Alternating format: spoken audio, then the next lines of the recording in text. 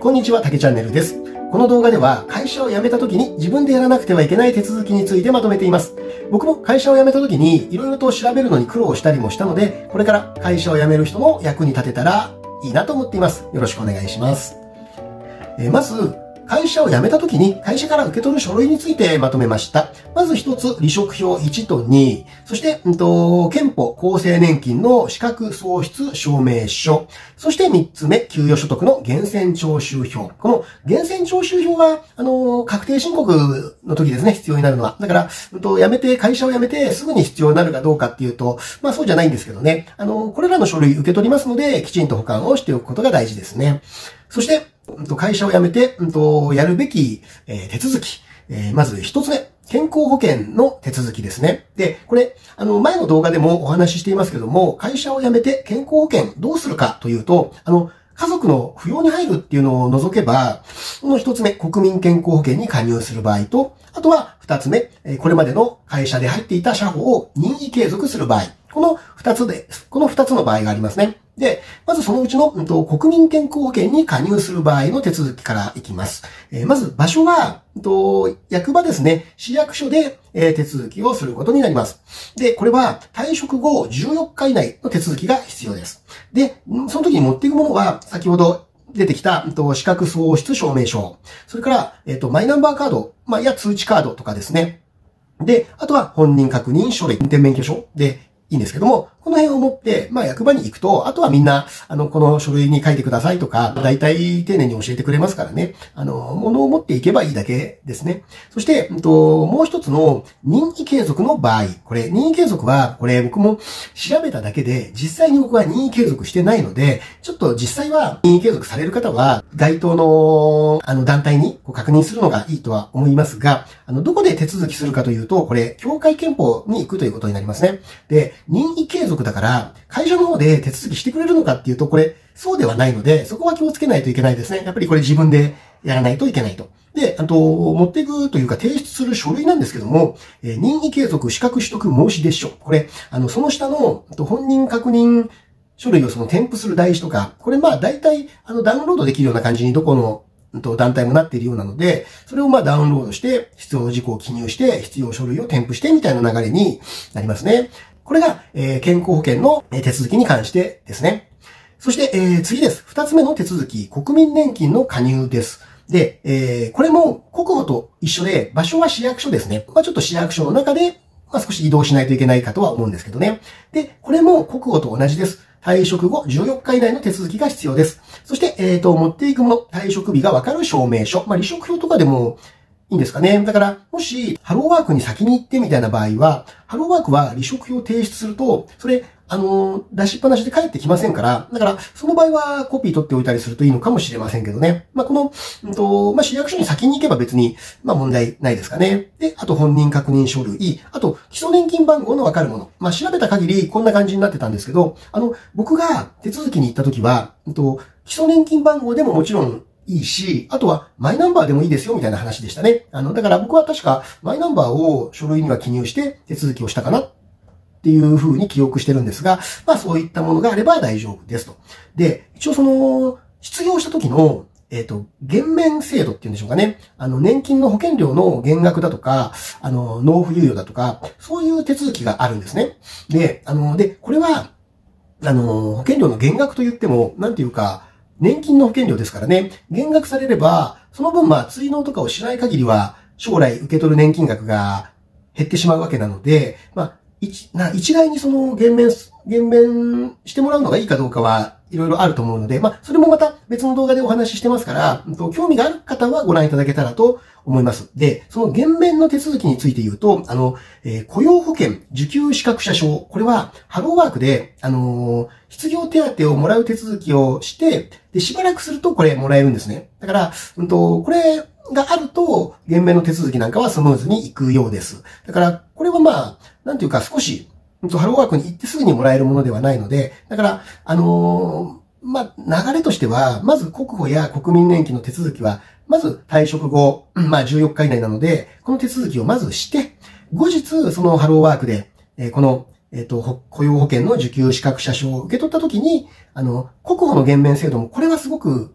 大きいんですね。こう何十万円で違いが出ますから、それは、あの、この受給資格者証をもらった後に、再度市役所に行って、減免の手続きをするというのがいいのかなというふうに思います。これが国民年金に関してのところですね。そして、えっ、ー、と、三つ目。確定申告。これは、あの、あの、会社を辞めてすぐに必要かと言ったらそういうわけでもないですけどね。これはまあ確定申告の時期。まあ2月から通常だと3月15日頃までですね。で、まあコロナの影響でまた期限が延長されたりすることはあるかもしれませんが、えー、確定申告。これも、あの、サラリーマン時代に給与から転引きし、給料から転引きされている税金はまあ普通は少し多めに、あのー、引かれてますからね。だから、まあイメージとしては会社辞めた場合は、その、えっ、ー、と、会社員の時にちょっと納めすぎている税金をまあ、返してもらうっていう、そんなイメージ、えー、かなと思いますけどね。で、えっと、必要なものは、本人確認書類、印鑑、申告書、えっと、金融機関の口座番号、まあ、これ返金とかされる場合ですよね。で、えー、各種証明書類、まあ、ふるさと納税だとか、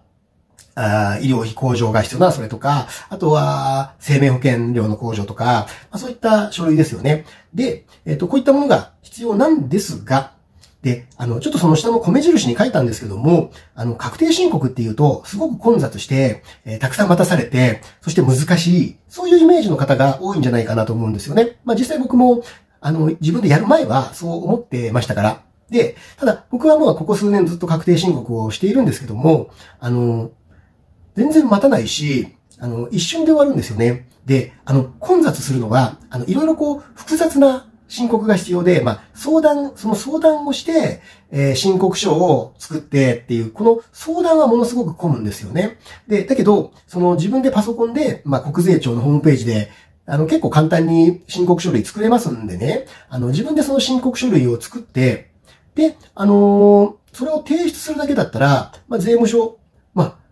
僕が言ってた税務署に関して言うと、全然待たないので、あのー、そんなに、こう、大変なイメージというか、まあ、あの、もし混雑して大変だって思ってる方は、そんなことはないので、あの、あまり構えなくてもいいかなっていうふうに思います。で、あの、僕もこれ今年からそうしようと思って、準備してたんですけども、あの、e-tax っていうのがあるんですよね。で、これは今まあ、税務署に書類を提出に行ってもまあ、そんなに混まないんですけどね、大変じゃないんですけど、あの、この e-tax は、税務署に行くこと自体もいらないと。だから、家からスマホやパソコンから全部、えー、確定申告を終えられるシステムなので、これ、おすすめなんですよね。で、あのー、で、e-tax は、あのー、僕はまあ今、あの、マイナンバーカード、あの、マイナポイント欲しくて、マイナンバーカードを、僕は作って今持ってるので、これ、マイナンバーカードと、あとはですね、その、マイナンバーカードの IC チップの読み取りに対応してるスマホがあれば、それだけで e-tax できるんですよね。で、で、僕はだからそれで今年、スマホから確定申告しようと思ってるんですけど、で、ただ実は、あの、マイナンバーカード、僕、あの、ゲットしたのは結構最近なんです。で、あの、実はその前から、もう次は e-tax にしようと決めていて、で、あの、マイナンバーカードがなくてもですね、e-tax できるんです。ただ、その場合は、あの、マイナンバーカードがない場合は、うん ID パスワード方式っていうやり方で確定申告、税務署に行かずに終えることができるんですけど、それには、あの、その手続きには一度税務署に行く必要があるんですね。だから、もし、今から、まあ、今年は確定申告をしなければいけないという人におすすめなのは、あの、まあ、マイナンバーカードを作ってしまうと、まあ、それで、あの、済むんですよね。あとは、あの、あの IC チップの読み取りに対応している、スマホだったら、それで OK なので、あるいは、マイナンバーカード作る気はないという場合には、あの、税務署に一度行くと、職員の方の案内で、あの、なんというか、割とすぐに、これも、本当に10分もかからずに、ID パスワードの発行できるんですね。だから、いずれにしても、この e-tax の手続きって、あの、マイナンバーカード持ってる人は特別な手続きはいらないし、なくても、あの、で、マイナンバーカードを作ら、作る気がなくても、税務署にちょっと行くだけで、そんなに大変なことじゃないので、あの、ぜひ、おすすめです。で、そうすれば、あの、これ別に税務署にもう足を運ぶ必要なく、あの、確定申告を終えることができますからね。あの、ぜひ、ちょっと気になる方は、まあ、少し調べて、あの、やってみるといいんじゃないかなと思います。で、確定申告は、そんなに、まあ、何ですかね、例えば、土地を売ったり譲ったりとか、なんかいろいろとそういう複雑な何かがなければ、あの、そんなに大変なことではないので、あの、そんなに構えなくてもいいかなと思っています。えー、そして、最後、えー、失業給付などに関する手続きですね。あのー、まあ、再就職が決まっていないような場合であれば、やっぱり、うん、少し不安ではありますからね。だから、もらえるものはちゃんともらっておく方がいいかなと思いますから、この失業給付の手続き、これはハローワークに行きますね。で、これ、期限は特に決まってないんですけども、離職後なるべく早くに行くのがいいと思います。というのは、これ、あのー、失業給付、受け取れる期間が、これ、えっ、と、退職してから1年間って決まってるんですね。だから、あの、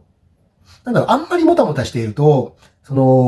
もらえる日数はまだ残っているのに、あの、期限が過ぎてしまって、1年経過してしまって受け取れなくなってしまったみたいなことがあり得るんですよね。で、持っていくものはここにあるようなこんな感じです。えー、個人番号確認書類。まあもちろんマイナンバーカードでも大丈夫ですし、マイナンバーカードを作ってない人は、あの、通知カードとかでももちろん大丈夫ですけどね。で、本人確認書類。そして、えっ、ー、と、証明写真は、これちょっとちっちゃいんですよね。と縦が3センチ、横が2.5センチ。これを2枚。これが必要です。で、印鑑は認め印でいいんですけど、あの、スタンプ印はダメみたいに書いてあったかな。あの、シャチハタダメなんですね。あと、キャッシュカードでも通帳でもいいんですけど、要は、失業給付の振込口座が確認できるものが必要です。なので、えー、まあ、キャッシュカードか、えー、通帳化ということになりますかね。えー、で、これを持っていって、で、あの、ハローワークで、あのー、そこでやる手続きは2つありまして、まずは、給食の申し込みですね。あの職探しをしている人しか、失業給付受け取る資格がないので、まず給食の申し込みが必要です。で、その後に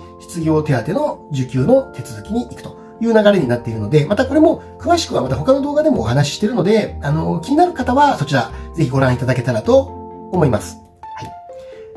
いかがでしょうか？今日のお話はここまでになります。会社を辞めた時に自分でやらなければいけない手続きまとめてみました。えー、最後までご視聴ありがとうございます。また、今後の動画もどうぞよろしくお願いいたします。竹チャンネルでした。